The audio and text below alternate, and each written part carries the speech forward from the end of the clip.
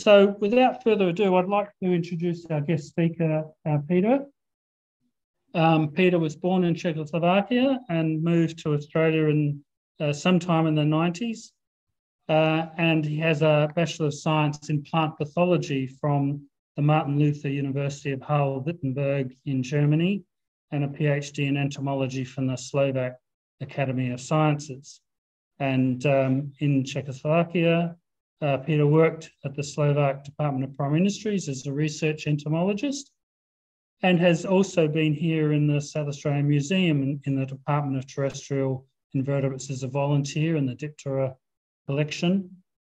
Uh, the University of Adelaide as a research fellow on two occasions, first on confocal laser microscopy and then on X-ray imaging. And we'll see a couple of images in this presentation tonight.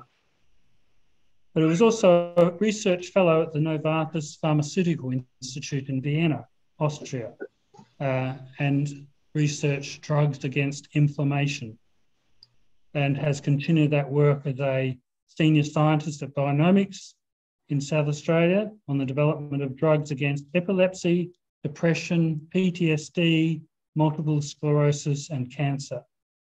Currently, Peter's working from home, he proudly says, as a scientific consultant to Australian biotech companies that are developing drugs against diseases of the central nervous system. But in his spare time, Peter describes new gall midges of Australia and Oceania, South and East Asia, and occasionally Africa and South America. Written reviews and identification keys to gall midge fauna of Australia, Papua New Guinea, and Indonesia. Thank you very much for coming, Peter. We welcome you to give your presentation. We're talking about gall midges today. Gall midges is a large. I need to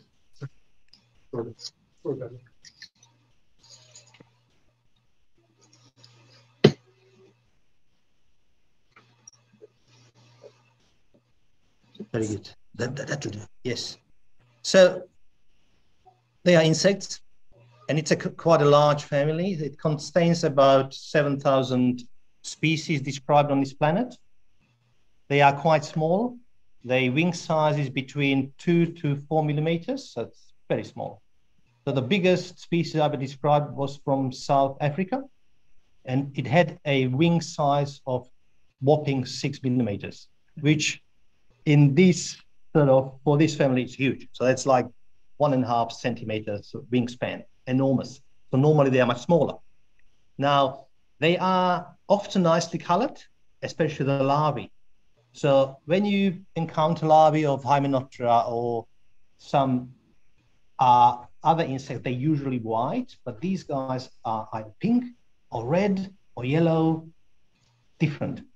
So, and that's a, a giveaway. So if you have, if you find the larvae, they are, you know, something like this here, uh, yellow in color. And what is special about them, they have this chitinized structure, like that, this one here. It's like a fork.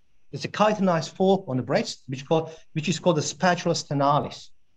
And they use it as a anchor point for the end of the body, where they, they, they uh, bend the body, put the end of the body behind the spatula, then release it. And the larva, which is about one and a half millimeters to two millimeters long, so tiny, can do jumps of 10 centimeters, which is very good if you want to look for a nice, juicy uh, pupation side in the soil or if you see any birds that would eat you. So this is quite specific for the for these gall. Now, of these 8,000 species which are described, many more undescribed, of course, uh, most of them are plant feeders. So about 80% are plant feeders. The rest is either fungus feeders or predators of aphids, uh, mites, and other insects. It's always the larva that it's feeding. So despite they are not enormously mobile, they still can hunt other prey. But again, most of them are plant feeders.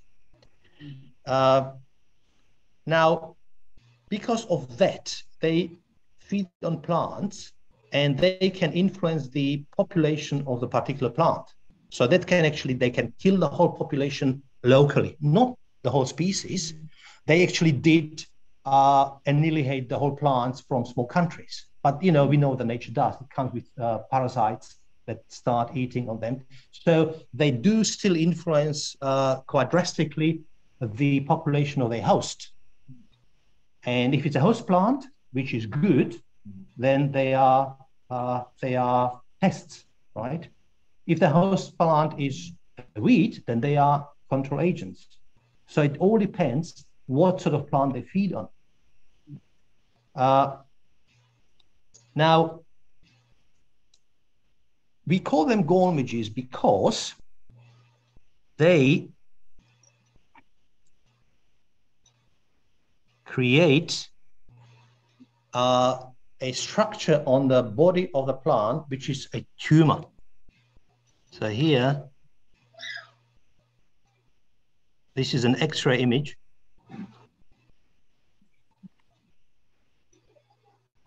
That's all I can do. so this gall here is about one millimeter in diameter, and you can find it on the ends of the branches of the Callitris plants. So this particular uh, tumor is originally a flower, a plant flower. Uh, so what happens? The the female lays the eggs on the on soft tissue, and when the larva hatches, it starts nibbling on the plant, on the on the juices of the plant, and starts you know uh, getting the nourishment. But it also injects cytokines and other growth uh, hormones into the plant. So by co-evolution, these gall midges developed uh, a synthesis of a plant growth hormones which are inject, injected into the plant and they change a particular uh, organ of the plant. Now, uh, they are very often host specific. So a particular uh, gall midge species would have as a host only a single host plant. Sometimes it could be more than one within the same genus of a, of a plant. And very rarely, from these 8,000 species, we have only about under 10 which are actually polyphagous, that they would eat anything really. So they are very, uh, very narrow in their host range.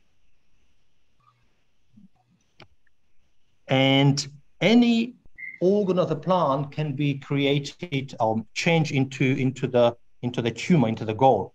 Here we have four examples of which plant tissue can be changed to a gall. Here you can see a wattle. And if the flower of the plant is not um, uh, infested, you would have a normal pot like this one here or that one.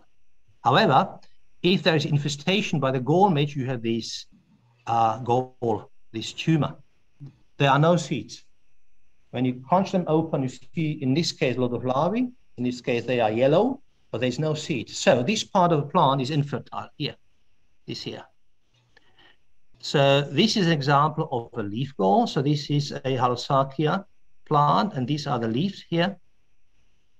And then if there is an infestation by the larva, this will happen. So it's a very strange structure. Mm-hmm. And it's actually triggered by the cocktail of cytokines, of plant hormones. So this is the co-evolution through millions of years, where different species of uh, gall midges created a different chemical inside them and injected them into the plant. And then when they start injecting the, the plant hormones, the tissue grows around them and encapsulates them, and they are inside. And, you know, uh, safe from sun, from wind, from elements, and relatively same, safe from parasitoids too. I mean, parasites always find their way. So they have infrared sensors. They know that there is larva inside inside the tissue. So they would drill a hole and and still inject the la- uh, the eggs into into this larvae too. That's how it is, right? Uh, here is an example of a branch gall. It's a eucalyptus, and you can see a a three larva chambers on the on the on in a gall. So this is one, two, and three, and inside of these three chambers you have always one larva. And it can also create galls on roots. They would not go into the soil, so they would go for plants which have an aerial roots, like, like these uh, strobilanthes, which grows in, uh, in central uh, Java. So this is Mount Gede in, in Indonesia. And the, the plants of this genus grow, grow on very steep uh, part of the volcanoes there. And in order to survive in the wind and, and the inclination and the water, they actually are using aerial roots to actually anchor themselves better. But then the roots are naked. So again, a, a species evolved through the millions of years that actually creates these tumors, these growths on, on, the, on the roots. So you can see this is a, a root, right? It would be like this here on the slope. And then you have these tumors. It's, you know, there's, there's probably about 30 of them. And this is a, a cross section and inside is a larva chamber and inside you have a larva.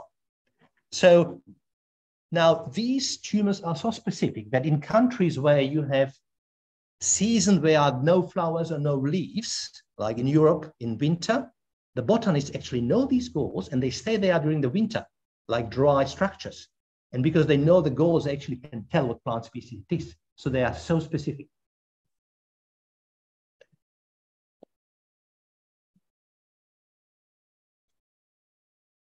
Right. I've got a couple of slides about the history of the study of Austrian gall midges. And it all started in 1857 to 1859 with the Novara expedition.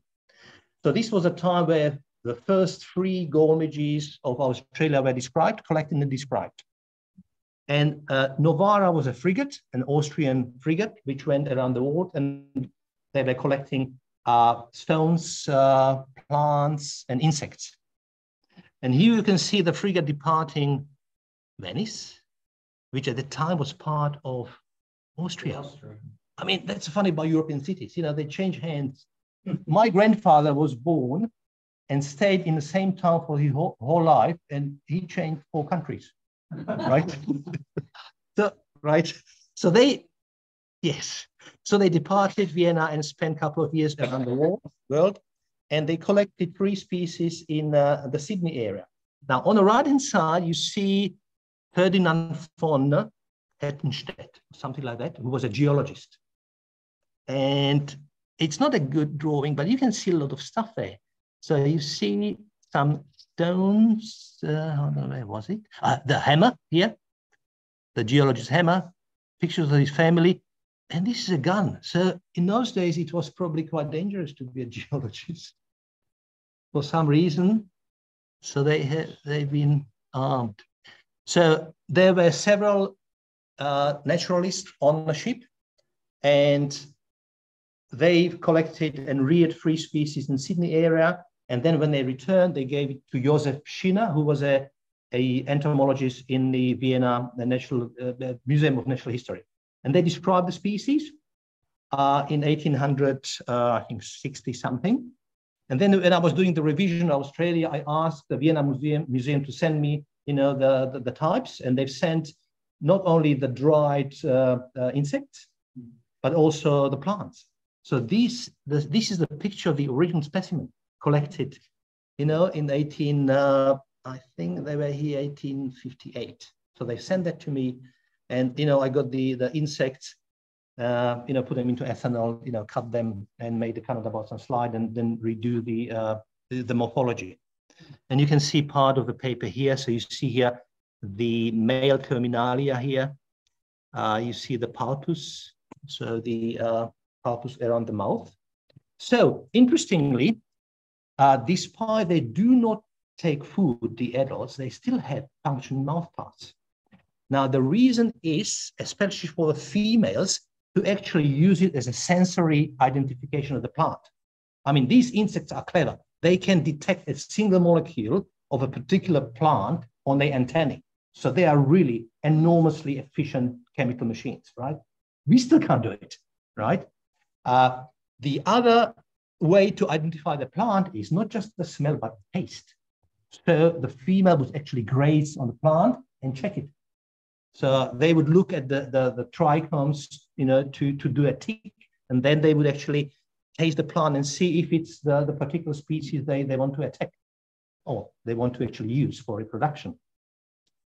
And here you see actually a photo of this particular species taken a couple of tens of years later. So if the if there's no infestation, you would have a, a fruit like this one here. Now, if the flower before it becomes a fruit is infested, you would have these tumors. So you have one, two, and three. In this particular species, I think larvae are yellow. You crush it open, you crack it open, and see a lot of larvae. Just one. There are several, several, yes. And most species, they, some insects do a pheromone, so where they mark, the female would mark the, the, the place. So which would tell, which would tell the, the other females, there are already eggs there, don't do that. But these, these species, these, these, these guys don't, don't do that. So you can have actually a, a eggs from a, from a different female inside. So, and then the number of the larvae depends if it's just one female that laid the eggs there uh, or if it's more. So in this case, you would have about 50 to 60. Some species would have only one. So it all depends.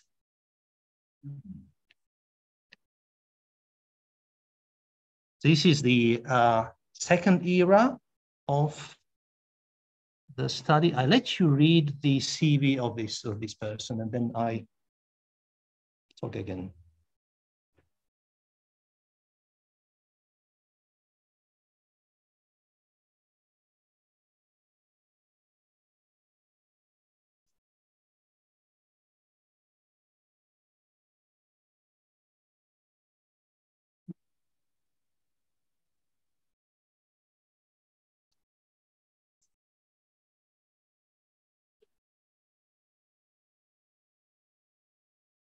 Not a very productive scientist. I mean, give me a break. It took me 25 years to describe as many species as him. and he also described and scientifically named one of the most dangerous animals on this planet, the Asian tiger mosquito, which transmits a lot of diseases, you know, yellow fever, whatnot. So, I mean, obviously, you cannot make HR people happy, can you? so, so that's my so that's my hero, right? Because of his work in Diptera. so I could not resist and name a genus after him. And here you see a she oak, right? So these are the flowers. Sorry, once again, these are the leaves, you know, the, the spikes. And if there is an infestation by the by the midge, you have these galls, so these tumors. They look like fruits, but they are not. The fruits are more fuller and you know, like a shiny, a very hard tissue. So these are really elaborate structures. In this case, there's only one larva inside. So you crack it open and see the larva, which is quite stunning. No, no, they are about probably the size, probably less than one centimeter, so quite tiny. But if you have a lot of insects, right? Like I worked, I did my PhD on lentil gall midge. And that particular species, tiny species, killed the whole lentil production in France in the 60s. So they had moved it, they had to move it to different parts of France. They could not, was not viable. It was just destroying all the, all the, all the, uh, all the lentil production. They had to stop in the 40s in, in, in, in Hungary. So I was working on it in uh, in the 80s, where it was in Czechoslovakia because it was a cash crop. So they can do, they are small, but they can do a lot of damage. Like viruses can, they are small too, right? And see what they can do, right? So if it's a lot of little things, they can just uh, be very... Yes. Yeah, but yeah, but once you find one, you get hooked. So then you just look and suddenly uh, well, they are. These are the gall midges I'm talking about. So diptera, you have hemiptera, and you can have also complex which are as big as this. You can, you know, you can defend yourself, right? And some some uh, cars actually eat them. They are a little bit different. So they can be big too. Then you have they have galls by fungi. You know, the Hexenbesen, the the, the witch, the witch brooms, right? Which is created by fungus. That's a gall too. So they are big ones. These are mainly small ones. But because they are host plant specific, they play quite important role in agriculture, forestry, horticulture, and ecology. And that's the thing, right?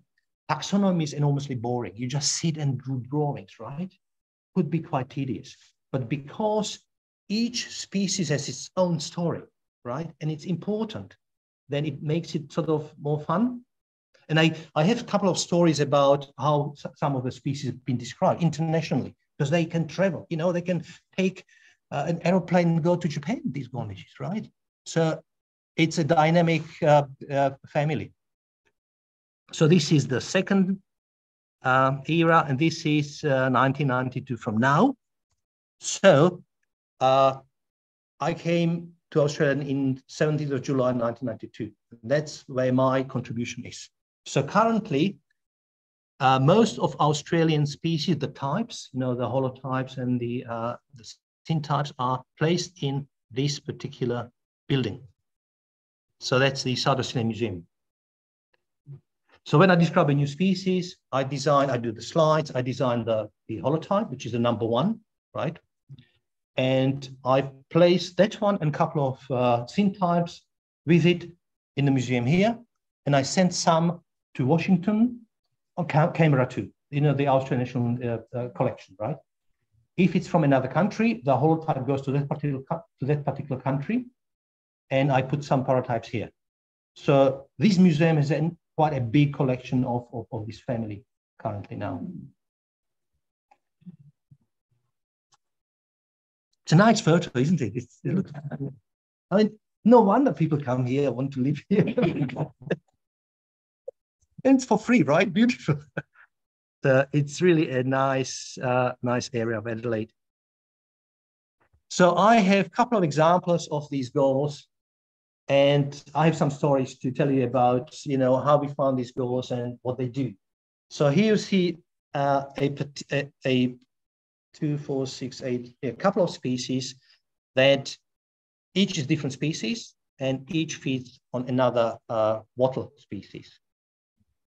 So here you can see Dasineura rubiformis on a black wattle.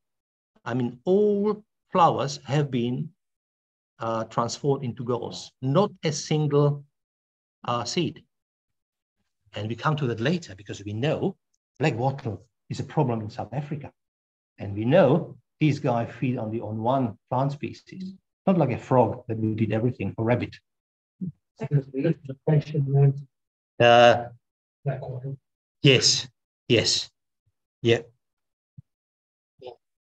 And what, probably you know this one here. That's the pendula acacia. And you can see, you know, it's, it's silvery. And sometimes all the flowers are actually converted into into the galls. So from all these here, there's only one picture which has actually a healthy pod with seeds, and it's this one here. I mean, when you when you describe a species, you show also sometimes the healthy plant, uh, and then you show infestation. This is a part where you show what the, what the animal does.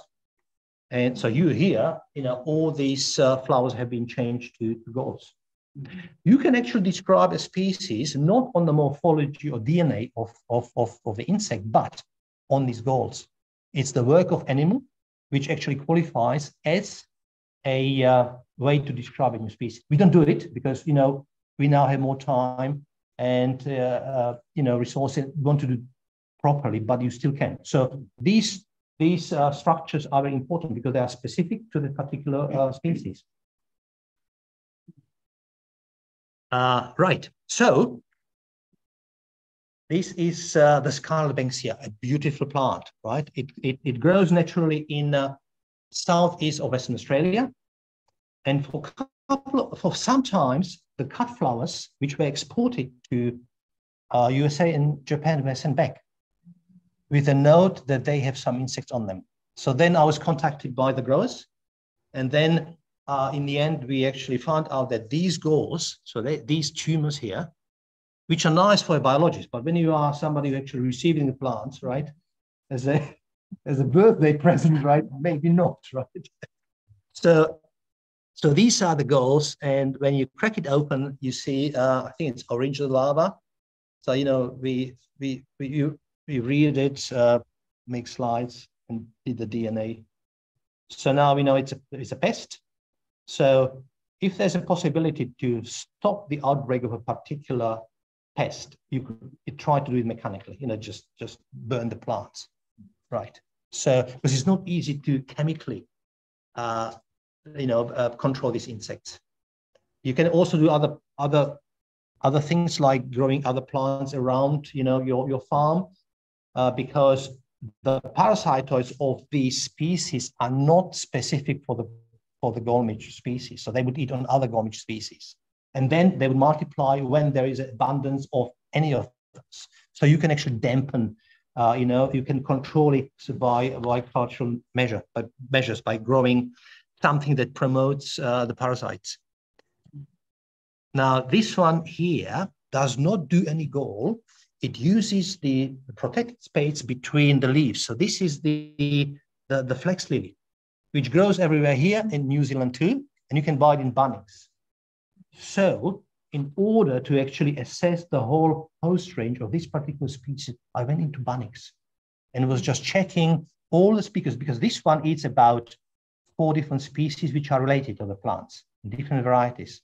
And I actually just looked and did the ticks because they, they are there, but you know, it's a new species the growers did not know at the time. So I mean, that's quite strange. You know, you go to your garden, you know, wholesaler and, and, and look for a, a, a host range of a new species. That's Australia. And there you can see the larvae. You see here, some birds figure out that some of these structures contain juicy, nice larvae. And they actually crack, them open and feed on them. So they are, they must be nutritious. So these, uh, these big ones are probably uh, brothers or sisters. Often in these, in this family, a female has a, uh, has uh, a progeny only of one sex. It's either females or males. So it could be that these are only males or only females. But this one here is younger. It's probably about a week or 10 days younger and that must be coming from a different uh, different females. And this is the that that's part of the description. So you see the the male here. Now this one is beautifully colored. Mostly they are quite grayish, so not not that beautiful. But this one is exception. And you can see so the terminalia is here, the genitalia is here. That's the uh, that's the genitalia of the male. That's the, the, the penis here. This is the, the end of the head. This is one of the uh, antennal segments. So the antennae are used for measuring the speed of the wind, uh, smelling uh, the plant or the, the, females. So it's really like a small factory, mm. uh, chemical factory. Uh, then this is the mouth with the palpi, the wing, and uh, the claws. So there are tens of morphological characters I can use to identify the species, which is, you know, lovely because if you study nematodes, it's not much there you can actually use, right? And before the DNA era, it was really difficult. Here, it's relatively easy. So when I describe a new species, I got three groups of information coming in. First is the gall shape and the host plant. Then is the morphology of the animal, and then it's DNA. So we do the cytochrome oxidase uh, unit number one to, uh, to, to sequence. That's about uh, you know a, a, small part of a genus uh, of, of, of, a gene which, which we uh, you know sequence and uh, then lodge with the with the, the gene bank, and that helps us to describe the species. So that's part of the description. You can see here uh, that's the antennal segment of the female, and that's the end of the body of the female, and it's the ovipositor, that's this part here. Uh, laterally, this is uh, ventrally. That's the head of the larva, one of the segments of the larvae. Sorry, pupa, that's pupa. This is the head of the larva. That's the spatula, that's the, the breastbone, and that's the end of the body. So there are very many characters one can use to describe the species. So this is an interesting example. So we described the species about four years ago, and it's really weird. This gall midge infests an endemic plant, which has only about probably 500 plants left, and not many. And the group who tries to save it notice that most of the fruits are infertile. So they do not have often situation like this where you can see nice and healthy fruits which would bear uh, the seeds here. So this one and this one is a healthy plant. However, about 95% of their plants cannot have seeds because they are infested by this particular species of gall midge. So instead of having this long and healthy uh, fruit capsule, you have these galls.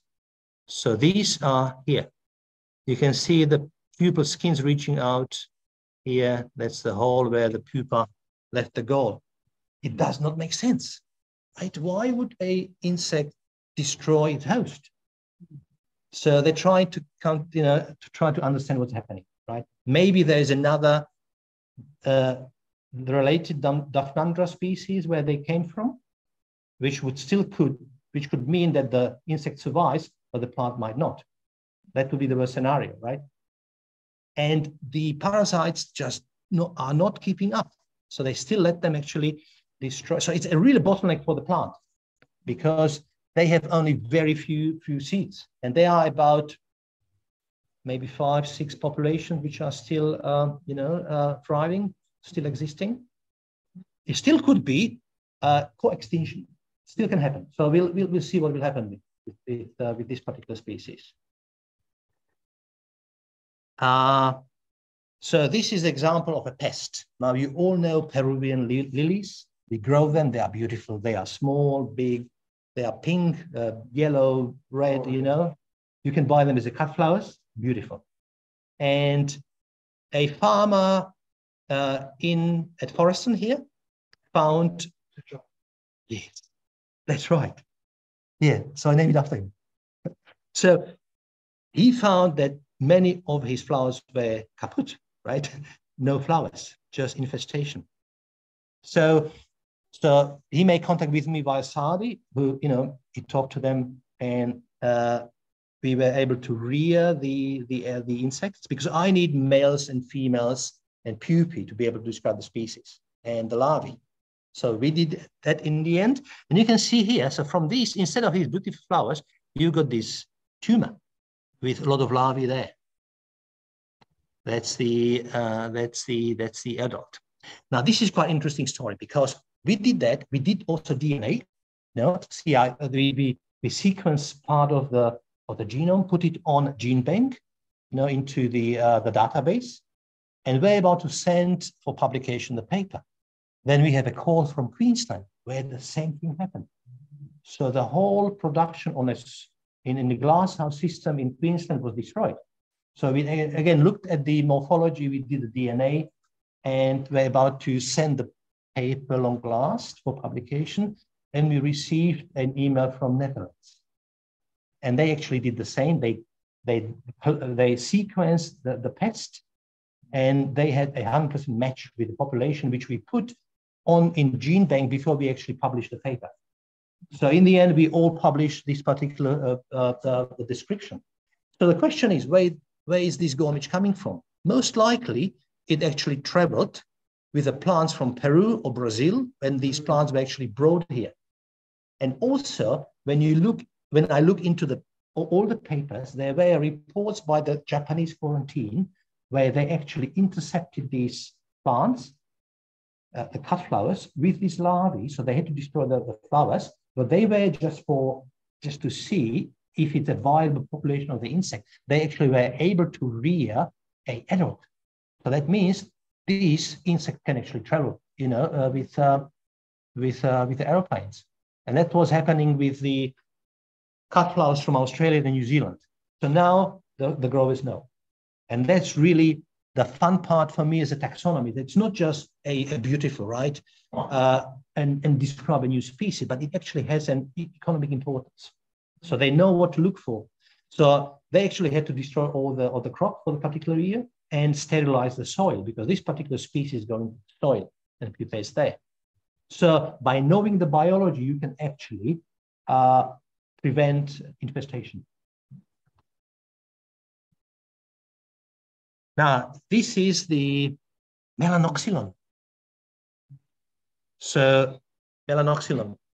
But we found species on mearnsii 2, 2 So there, there's, there's probably about 30, 40 species which, which feed on, on different acacias.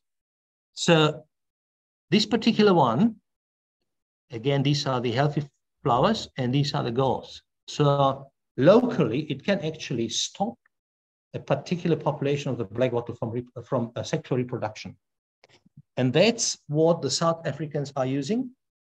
So they actually, uh, we described the species, did the DNA, and then they did a, a host specificity test. It took a couple of years to actually let the, the, the, the gall midge attack the plants, which they wanted to know if it does, and it didn't. So in the end, it was proven that it actually feeds only on a particular species. So then they introduced it into South Africa. And now, currently, after about 15 years of introduction, everything uh, you know looks fine. The insect in, infests only a particular species, this one. It uh, destroys most of the, of the flowers, so it's not reproducing, but it still can grow as, as, as a tree because the tree is used for firewood in, in South Africa. Also for tannins, for you know, for the leather industry, but still there's a large population of people who depend on the wood. So there was a dilemma, you know, what to do. The ecologists didn't want the uh, the wattle to spread everywhere, and it was. So they actually uh, destroyed the plants, the, the trees in the area they didn't want it, and now this insect actually helps them to contain it in the area they uh, they're happy to have it. So you can see here, this is from South Africa. That's nothing. So I, I went to a conference and people from South Africa were, were, were there. And they said, oh, we're working on this Dasineura rubiformis. And I said, I named the species. Do you like the name? Very much. so, you know, it, it, puts people together from different areas of, of, of science and, and industry. And these are, you know, the drawings. So I have a, a camera lucida, which is a drawing tube. So I cut the species under microscope uh, in a tiny pieces that goes through different chemicals and then in Canada balsam. And then I draw the, uh, you know, the different parts. Uh, we did the DNA for this one too, and then compare to existing species. This is the other way around. This is a plant which is called the bellyache, Jatropha. It's a plant that grows originally in South America. Has been introduced to Australia, I think, in the last century, and it's just taking over the natural environment of Queensland. And it's poisonous. So when the cattle eats that, they have, you know, poisoning of the, of the stomach.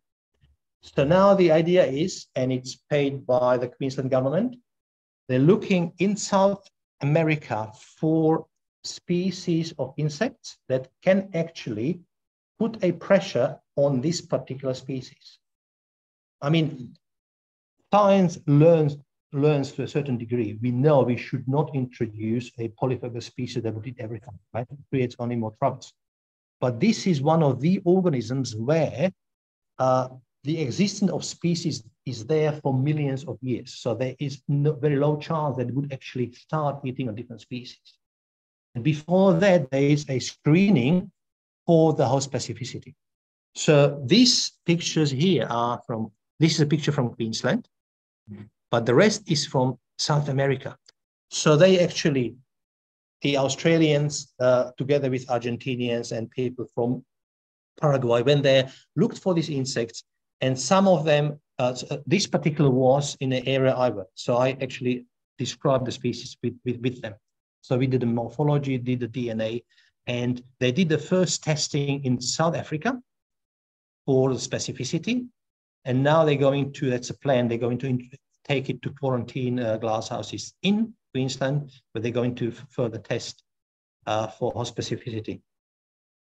So you, you can see here, this is, the, this does not stop the plant from reproducing, it just puts pressure on the habitus, on the plant itself. So here you see a, a bud of the, of the leaf here, and you can see the larvae here. And then once the larvae go to the soil, the whole bud dies. So it does not stop the plant entirely, but it puts pressure on it. And you know, if the plant has a bottleneck, dryness, or whatnot, it would actually uh, diminish its population. So it's like a multi uh, multi-agent uh, uh, uh, uh, tactics to put several species which are specific, which put the plant under under the pressure. Uh, so many of these insects are really a, a, a serious pest. And mango, I, I help people from different countries to actually identify and also describe the species they find. And one of the plants is mango. It's very popular. You know, it's one of the pop, uh, you know the popular plants on this planet. So in India, Indonesia, mango is very important. And there are probably about 30, 35 described species and about 30 undescribed. So I'm bombarded you know, on every year two or three new species, uh, you know, which which people find and they're destroying the the local uh, the local uh, farming industry. Most of these species create so these all these species are from a single genus of the midge and feeding on a single plant species. So you can have a scenario where you have one plant species and several gall midges, which is such a good host, right? Uh, and you can, most of them are fortunately destroying only the, the, the leaves, which is a, a, a, problem too, because if it's a sink, so if, if, if many of the leaves are actually malformed, transformed, they cannot work properly. And then it's it's an entry for a, a secondary fungi. So it's it put the plant under pressure, but it still can actually survive. Some of the species actually infest the flower, uh, the, uh, the the fruits, like this one from from uh, uh Philippines. And this is one which we described two years ago, which destroys the young fruits. So you have nothing. And you know that's not good. So uh, the first step would probably be destroying uh, a, a, a, the focus of the, of the population of the midge and see if you can stop it. So this is the part because I wrote on my on the on the on the information about my talk that I would show you how to find a new species because you can do it, right? You can actually find a species which we can describe because most of them are not described. So when you go to Morialta here, I probably would need about a day or half a day to find a species which has no name. Hmm. And you can do it too. So you look for these malformations. Now they can be caused by other insects or other organisms too. So those I work with, when you crack them open, they should be colorful. They should be about probably one to two millimeters big. They need to have the spatula, the chitinized structure. They should be either pink, orange, or, or red, sometimes white too, right? So that, and if you tell me, show me the picture, you know, I just check in the database, I tell you, this is species which has not been described and named, right? Then, uh, this one is actually this one here. We sent the pay the paper for publication uh, two weeks ago, and that was again with people who are naturalists, you know, and I received material from different parts of Southern Australia. So from people who are walkers and they actually, you know, just tourists, and they I navigate them how to how to how to rear it, how to get the males and females, and also from um, the uh, the rangers from uh, national parks. So this one has been sent for publication. This one is a new species. We have no name. This is from from Queensland. Um, you can argue it's beautiful, right? So imagine, and you know, they look very similar. So imagine the cocktail, I mean, just the, the chemistry of it, which people are not studying uh, as, as, you know, intensely yet, you know, just the cocktail of these uh, cytokines that actually causes these particular growth. So these, these undescribed species. So the next step when you find a new species, you need to get males and females. And that's sometimes easy, sometimes not. If it's the, these 8,000 species of raw they create two heterogeneous groups one where they pupate in the gall, and those which actually have to go to the soil. These are problematic. That's not easy to, to get them, but you can. So if you see one which which we are lucky enough, and you see one which creates the galls, you know, on, on the plant. You just get the, the, the branch, put it into, into you know, the, the pot with water, you put plastic bag around, and you wait for the males and females to appear. And you put them into 70% ethanol or gin or whatever, you know, you need more than 50% ethanol, right? So to preserve them. Oh, you just need a little bit. so for those who pay, you just bought, you know, you buy two bottles just in case you. you they would be happy. so the second group is more difficult to rear. Uh, you need to actually crack open the, uh, the, the and let the larvae go into the soil. Or just put the larvae on the soil and they will actually uh, open the galls for themselves and go into the soil. Now, the giveaway between these two species here, here is the, the species that pupate in a gall, they are lazy. They just, right? You open them, they don't go anywhere. But those that pupate in the soil, they are like predators. They move around because they are really a species that need to move. So then based on the past movement of this larvae, you actually can guess. This is one species where I need a jar and I need, need a damp sand not wet, not dry, just sort of wet. And they, you let them, you know, you put them on the soil. They, they go about one centimeters deep, and then they, uh, after three weeks, uh, they, they, they, they pupate. Some species are very difficult. This one here, I found for the first time in 1993, and I could not get it. I could not get adults. But a naturalist in uh, Snowy Mountains, she actually did it. It took her 10 months to actually rear it. She had it in soil in an unheated room for 10 months. So some are difficult, but that's extreme. Normally it's, it's much easier. So I think that's all. I just have a couple of pictures. If we have time, just show you some uh, galls.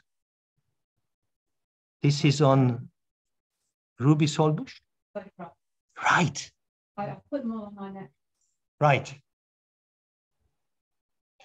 I do not check because I have so much material, right? But we actually published uh, the the information from iNaturalist in in papers. So if you do that, you know it's a locality, and uh, so it, it's a wonderful thing. So this is the ruby saltbush, right? The the, the you can eat the the, the fruits, can't you? Yeah. Yeah, right. More than once, not not poisonous. So this is uh, this is called Asphondylia tonsura. This is Asphondylia magnalia. We have a person here after whom the, the, the insect was named.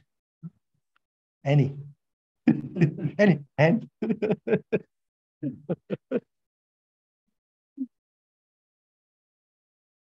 So you can see uh, it's really, the goal is quite elaborate.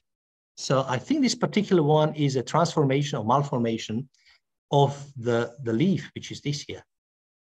See how different it is? Mm -hmm. So the larva, you know, it feeds on the plant, injects these cytokines, and the plant responds by creating this gall.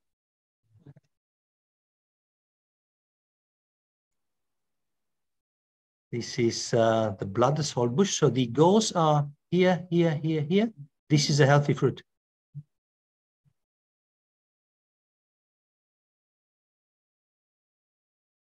This one is just beautiful.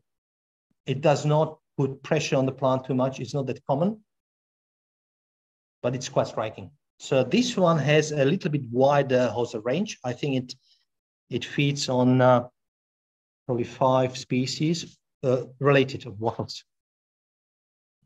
Now this is this is very special. Uh, a uh, a colleague, Luke Halling from the quarantine, or what was called quarantine about eight years ago in Northern Territory.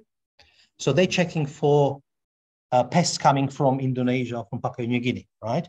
And he found these galls. They're pretty boring. So these are the galls here, here, here, here, here, on the three-leaved bush grape, Causonis trifolia, Cayratia trifolia used to be. And he was able to get the males and females, and he sent it to me. And when I realized to which branch of gall midges these species belong, I was stunned because that particular branch, which is a sister group in phylogeny to other gall midges, split from other gall midges 100 and 110 million, million years ago. This is the first species that actually uh, is eating plant, not fungi, but plant, and it actually is causing a gall. So this is really the phylogenetically the oldest species that actually causing galls on this planet. So this actually shifts the time uh, when gall midges started doing the galls to 100, 110 million years back in the Cretaceous. So despite being quite boring, it's really quite exciting. I mean, from pure scientific point of view, right? This plant, it's, it's a weed, right? We tried to recollect it. So we were collecting in Northern Territory, Queensland. I actually sacrificed my uh, pool time in Bali to look. Right? we could not find it. So it, it's like, it, you know, with butterflies too, right? Sometimes they are there, then you can't find them. So if you find uh, the three-leaf bush grape and these galls, just keep them, put them in the into into in the plastic bag, and let me know. And this is a, this is a species I found, you know, during family holidays. This is in Thredbo-Diggings. This is the small fruit hakea. You see the, the galls here?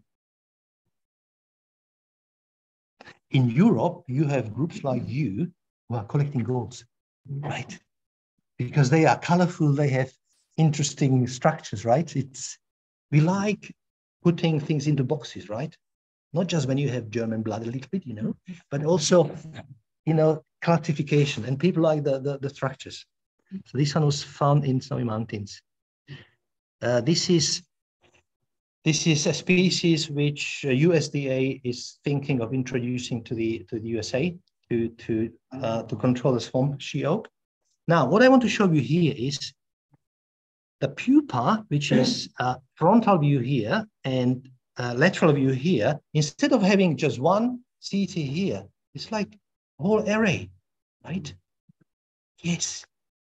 So when I describe a genus, I use the uh, ancient Greek language for the description of the, of the genus, and then Latin. So Greek is more important than Latin in this case, right? Uh, so I call it ophthalmodiplosis, and you can see the etymology here. So ophthalma means broom in, uh, in, in, in Greek, which looks like a broom, right? Like when you sweep your, your garden. So, you know, that's what you do. You know, you, you, you try to, to use descriptive names, right? I mean, fewer and fewer people know Latin, right? And no, who knows, you know, the, the ancient Greek, but, you know, scientists, it's beautiful, right? And diplosis mean a uh, two knotted antenna. So these, these genus have an antenna which consists of 12 segments, and each is created by, by two nodes with a, with, a, with, a, with a neck. And there they have all these chemical sensoria, you know, the, the CT just check the wind. Uh, so, so that's how you, and the clavata means, again, Latin, clavus means club, because it looks like a club, right? If you look, look here, see this one here and this one,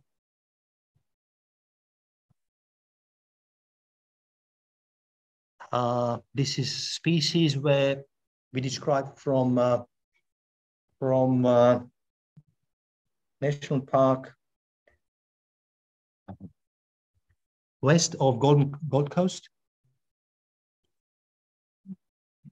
National parks there. I can't remember. Yes, yes, that's right. Lamington and another one.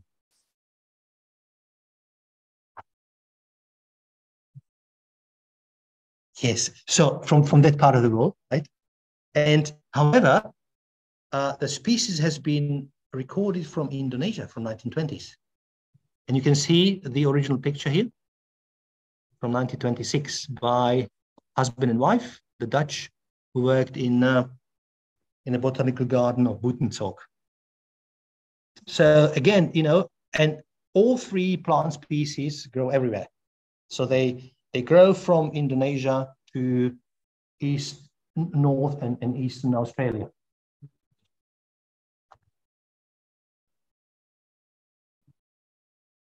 And this is the kangaroo apple. I mean, it's it's not used in industry, right? People's, so it's not a pest. It, it's really, uh, it's a wild plant. This one is one of the USDA, uh, the United States Department of Agriculture projects, where they pay people here in Australia to look for potential control agents. And they have a big problem with the paperbark because it just takes over the southern uh, Florida. It's the biggest weed on this planet, 40 meters there. So it grows higher there than here. So they try to put pressure on the plant. And one of the possibilities is this particular species, which we named Contarinia melaleucae. So the, the specific name I often use after the genus of the plant. So, you know, it, it, it gives you the, the, uh, the association with the host plant. The, the genus, you know, if it's, if it's existing, you just, you know, use it. You can, you know, uh, there, are, there are two types of taxonomies, those who want to split and create new genera or those who do lumps. I'm a lumpist, so that is called. I try to keep uh, as few uh, genera as possible because there are so many here, you know, uh, if they have, if there's any reason to keep it in the same genus, I do. And I think I have two more slides. This is a species from uh, South Africa. And that's the one which has this huge wingspan, six millimeters each wing, so one and a half centimeters with, with the thorax together, enormous. And it destroyed, and it's a peat grass, which is a is a weed here. So maybe in the future, you know, people can test the host specificity, which with grass is, is really, one has to do a really good homework, homework, not to introduce species that can actually go to others, you know. So, so here you can see the healthy, healthy uh, stems like that, and that's a goal. And here you can see the, the pupae inside, pupa skins. So this is all South Africa, this is Australia. So possibly can be considered. This is um, a species we described from New Zealand. There is a myrtle rust, I'm sure you know. So it destroys the endemic tree, which they call ramarama, Lophomyrtus bullata, and it's really it's taking toll of the of the population of, of, of the plant. And on the rust, they found a midge which was eating the rust. Mm. Now, we don't know if it's a goody or baddy because it eats the, the, the spores, but there's a possibility that the, when the female emerges, it takes some spores and takes it to another plant. So we don't know, you know, mm. if, but we want to know the population, sorry, the, the life history of, of, of the disease of the, of the, of the fungus. And this is, this is part of it. And you know, it's a complex thing. You have the plant, you have the, the fungus, you have the midge, you have the parasites of this. It's, it's a network.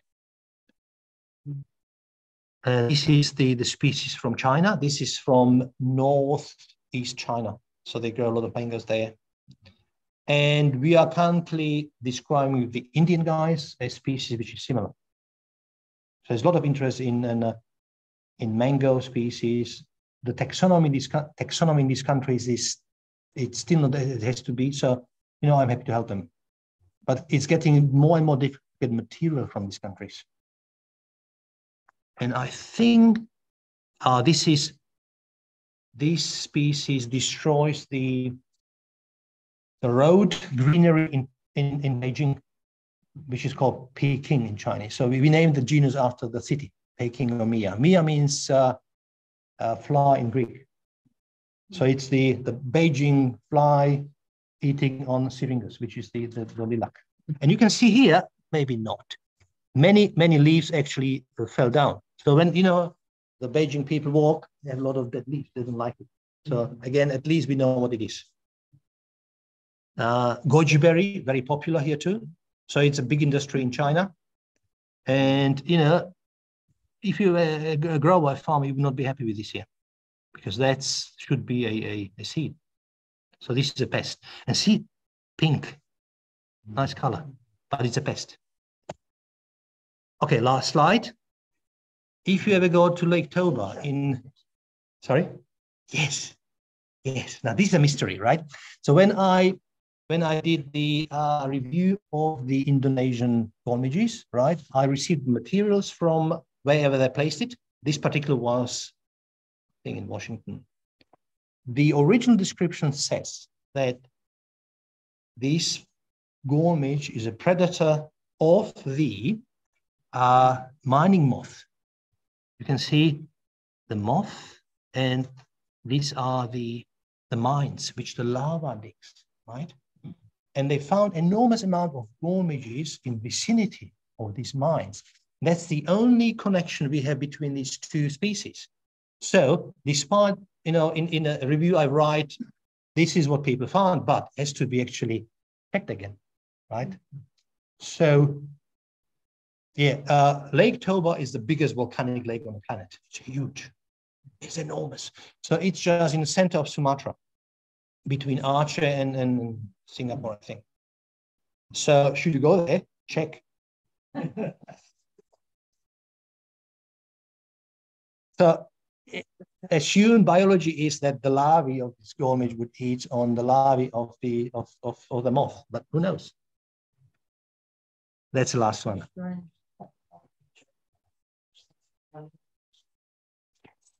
How, how weird is that, right?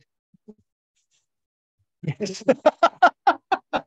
no, they actually write there that the larvae survive the, uh, the digesting juices inside the pitcher plant. So they actually, they survive this acidity or whatnot, and then they crawl up and pupate, you know, in, in when they are dry. So they, they could be toughies. So it's, it's, it's complex, right? It's a Yes. And when you are pressed to survive, you know, many species, those who don't adapt, they're not here, right? So I am pessimistic. I don't think it it feeds on the on the mining uh, uh, moth, but it still could be true what they wrote in the papers in 1931. Now I know you all are butterflies, and so do I. so this picture here, 1840, uh, and this is a picture of me in nine, 1985 when I was in the Czechoslovak army. I mean, this was during the Cold War, but you know, we were really not that fearsome. because I was an officer. So in a tank, I could put a lot of stuff, right? So I had the the Higgins uh, uh, key to uh, to um, to butterflies of Europe, and this one. Now, have a look at the development, right? Have a look at the size of the net, right? So in what, 145 years, the size changed from, from this here to that one. So there's a progress in science. And on that note, I, I, I finish. Thank you very much.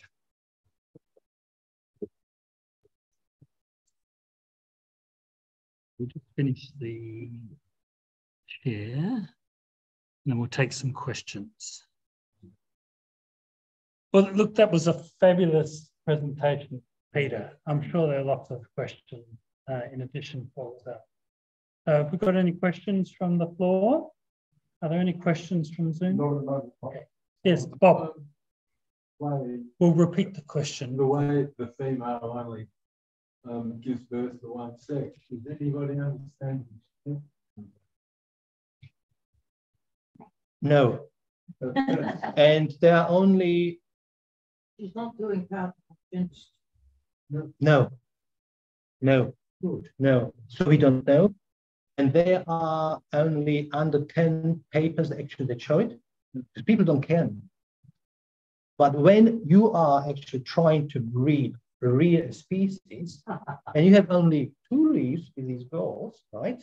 Or just one, and you say you need at least one male and one female, ideally five. And you get only males or females, you know, you start thinking. And that which makes you actually anticipate that. And then when you are, uh, when, when, when you find another species, you actually try looking. So we are just actually trying to understand if that's the case for all gall midges or just the couple we, we know of. So that the, the genetics is not known. Is anybody speculating on what? No, nobody cares. So you don't have to wonder how they, how they manage. you know, you can see that. Okay. Yep. so got- Yep. Question from the floor? Yes, thank you, Gary. I'll repeat the question from the Zoom. Wondering that interaction between the, uh,